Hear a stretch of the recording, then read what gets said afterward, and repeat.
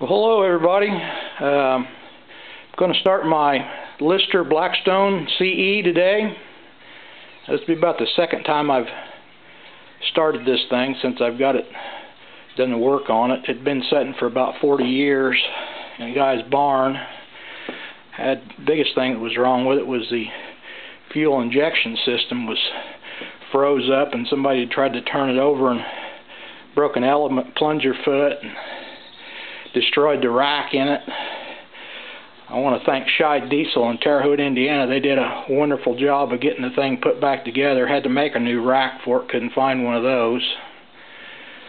I'm gonna I'm gonna try starting the thing today on the uh, the compression changeover lever on the cold start mode. I haven't haven't tried that yet. I've I've started with a hot air gun in the intake a couple of times on the regular compression side.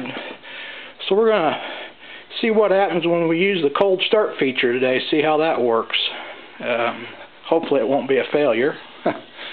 I uh, have just temporarily rigged things up with fuel and and I got a little antifreeze in the engine here and just enough to warm it up with. I uh, haven't done a whole lot yet. Not sure how I'm going to set it up, probably with a radiator and a water pump I would imagine. A little history on this thing. These engines were made by a company in uh, Milwaukee, Wisconsin named Nordberg under license by Lister Blackstone during World War II. Uh, this is the only one that I personally have ever seen. I know there's probably a few of them around. Parts are pretty much uh, extinct for them. But uh, they are a pretty tough old engine.